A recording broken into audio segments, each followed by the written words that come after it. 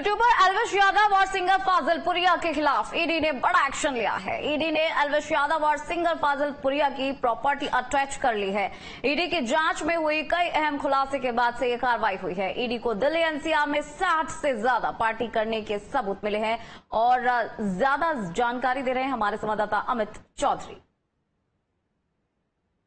Delhi NCR में आयोजित होने वाली रेव पार्टियों के अंदर सांप और उसके जहर का इस्तेमाल करना, सांप और उसके जहर का इस्तेमाल करने के बाद कमाए गए पैसों को लेकर ईडी द्वारा एलविस यादव पर बड़ी कार्रवाई की गई है। एलविस यादव और सिंगर फाजलपुरिया की प्रॉपर्टी को ईडी द्वारा अटैच कर लिया गया है।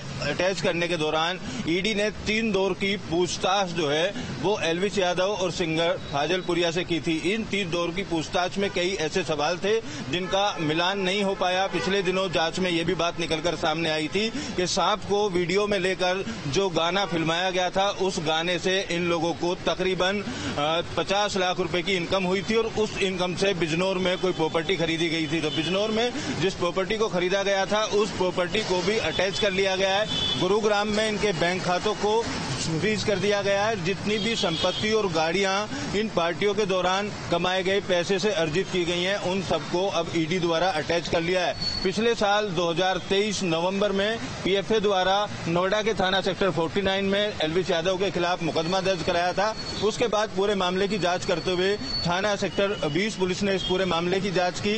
इस एलविश यादव को 136 दिन की जाँच के बाद गिरफ़्तार किया गया था और एलविश यादव सहित कुल आठ लोग इस पूरे मामले में गिरफ़्तार हुए थे। अब ईडी का जिस तरीके से एलविश यादव पर शिकंजा कस रहा है, उसके बाद माना यह भी जा रहा है कि आने वाले दिनों में एलविश यादव और उसके अन्य करीबियों के खिलाफ भी कड़ा शिकंजा कसा जा सकता है और मुश्किलें एलविश यादव की और ज़्यादा बढ़ सकती हैं। जिस तरीके से शुरुआती जाँच में नोएडा पुलिस के तमाम तथ्य सामने आए थे, उन्हीं तथ्यों को आधार मानते हुए ईडी द्वारा इस पूरी इन्वेस्टिगेशन को फ़िलहाल किया जा रहा है। वीडियो जर्नलिस्ट सिद्धार्थ गुप्ता के साथ अमित चौधरी, न्यूज़ स्टेट, नोएडा।